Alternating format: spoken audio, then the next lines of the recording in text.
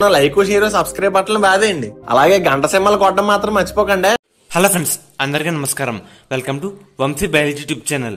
ఈ రోజు ఈ వీడియోలో టాపిక్ ఏంటంటే ఏపీ టెన్త్ క్లాస్ తెలుగు సబ్జెక్ట్కి సంబంధించిన అసలు మనం పేపర్ ప్రజెంటేషన్స్ వరకు ఎలా చేయాలి? నేను చాలా మంది అయితే అడిగారు లైవ్లో అండ్ మీకు వచ్చేసరికి ఏంటంటే ఇది నేను చెప్తుంది ప్రీ ఫైనల్ అలాగే ఫైనల్లో చెప్పింది చెప్తుంది అనమాట ఈ టిప్స్ వచ్చేసరికి.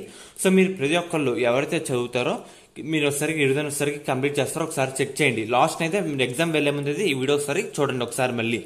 సో మీకు ఒకసారి ఎలా ప్రజెంట్ చేయాలి అది చెప్తామంటే టిప్స్ సో మీకు ఏంటంటే ఒక బుక్లెట్ బుక్లెట్ అయితే ఇవ్వడం జరుగుతుంది. సో మీకైతే శాంపుల్కి వెళ్ళి చూపిస్తామట. ఒక బుక్లెట్ అయితే ఇలా ఉంటుందన్నమాట.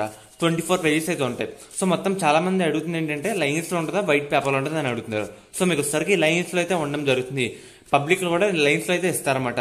సో మీకైతే లైన్స్లో రావడం జరుగుతుంది. అలాగే మీకు ఏంటంటే పబ్లిక్లో ఎలా ఉంటుందంటే మీకు సరిగి ఇక్కడ సిగ్నేచర్ మీ సైన్ పెట్టాలి అలాగే టీచర్ సైన్ పెట్టాలి. అలాగే మీ అదేంటి మీ రోల్ నెంబర్ ఏంటి అలాగే మీ హాల్ టికెట్ ఏంటి. హాల్ టికెట్ ఏంటంటే సపరేట్గా ఒక ఓఎంఆర్ షీట్ అయితే ఇవ్వడం జరుగుతుంది. అది కంగారు పడకండి. అలాగే మీకు సబ్జెక్ట్ ఏంటి అలాగే పేపర్ ఏంటి అని రాయాలన్నమాట. సో మీకు ఒకసారికి ట్వంటీ ఫోర్ పేపర్స్ అయితే ఉంటాయి. మీరు either blue pen or black పెన్తో రాయాల్సి ఉంటుంది. అలాగే మీరు అయితే టూ సైడ్స్ అనేది రాయొచ్చన్నమాట తెలుగులో.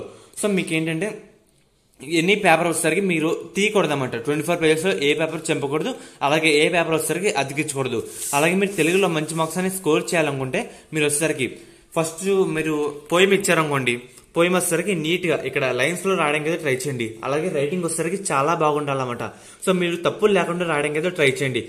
తెలు- సో తెలుగులో ఏంటంటే రైటింగ్ బాగుండాలి అలాగే తప్పులు లేకుండా ఉండడానికి అయితే ట్రై చేయండి. అలాగే మీరు చూస్తున్నారు కదా సైడ్ హెడ్డింగ్ మెయిన్ అన్నమాట. సైడ్ హెడ్డింగే మెయిన్.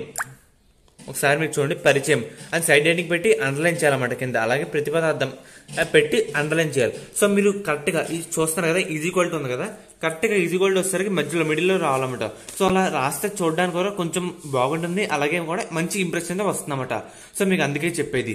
సో మీకు కరెక్ట్గా మధ్యలో ఉండడానికి అయితే ట్రై చేయండి. ఈజీ గోల్డ్ వచ్చేసరికి ఇక్కడ నీట్గా రాయండి. అటు ఇటు తప్పులు లేకుండా. అలాగే మంచి రైడింగ్ తప్పు లేకుండా రాయడం చెప్పాను కదా. అండ్ మీకు ఏంటంటే సెక్షన్ ఒక సెక్షన్ ఒక ఆర్డర్ కింద అయితే రాయడానికి అయితే ట్రై చేయండి. అప్పుడు ఏంటంటే ఒక ఐడియా రావడం జరుగుతుంది. వాళ్ళ దగ్గర ఒక బుక్లెట్ ఆన్సర్ బుక్లెట్ కూడా ఉండదన్నమాట వాళ్ళు చూసుకుని కరెక్షన్ చేస్తారు. సో అలాగే మీకు ఏంటంటే అండర్లైన్ వచ్చేసరికి ఇంపార్టెంట్ పాయింట్స్ వచ్చేసరికి అండర్లైన్ చేయాల్సి ఉంటుంది. సో మీరు ఈ పదం వచ్చేసరికి ఇంపార్టెంట్ అనుకోండి. ఇక్కడ ఇక్కడ చూపిస్తారా? ఇక్కడ హైలైట్ చేశారు కదా? మీకు చూపిస్తాను. శివభారతం శ్రీ శివభారతం ఇక్కడ వచ్చేసరికి హైలైట్ చేశారు. సో మీరు కింద అండర్లైన్ కూడా చేయాల్సి ఉంటుంది. సో అప్పుడు ఏంటంటే వెతుకో అవసరం లేదన్నమాట. సో అసలు మీకు వచ్చేసరికి ఇంపార్టెంట్ పాయింట్ పడింది కదా? మార్క్స్ వచ్చేసరికి ఆటోమేటిక్గా వేస్తారు. సో అలాగే ఏంటంటే అందరం సబ్ హెడ్డింగ్ కూడా చేయాలి. సబ్ హెడ్డింగ్ ఇందాక చెప్పాను కదా ప్రతిపాదం అలాగే దేనికంటే దానికి చేయాలి. అలాగే మీరు ఎస్ఐలకి ఏంటంటే ఎయిట్ మార్క్స్ కానీ పెద్ద క్వశ్చన్లు కానీ ఫోర్ ఫోర్ మార్క్స్ క్వశ్చన్ కానీ ఏం చేస్తారంటే చాలా మంది ఏంటంటే ఒక పారాగ్రాఫ్ కింద రాస్తారు. సో అలా కాకుండా మీరు సరిగి పాయింట్ వైజ్ అయితే రాయడానికి అయితే ట్రై చేయండి. ఎందుకంటే మీ మీద క్వశ్చన్ వచ్చేసరికి పెద్దగా కనిపిస్తుంది. అలాగే మీరు తప్పులు లేకుండా రాస్తారు కాబట్టి మీకు ఒక ఐడియా రావడం జరుగుతుంది వాళ్ళకి. సో వీళ్ళందరూ బాగానే రాశారు. మార్క్స్ వచ్చేసరికి వేయచ్చు అనే ఒక థాట్ అయితే వాళ్ళకైతే రావడం జరుగుతుంది అనమాట సో పాయింట్ వైజ్ అయితే రాయడానికి అయితే ట్రై చేయండి. అలాగే తప్పు లేకుండా ఉండడానికి అయితే ట్రై చేయండి.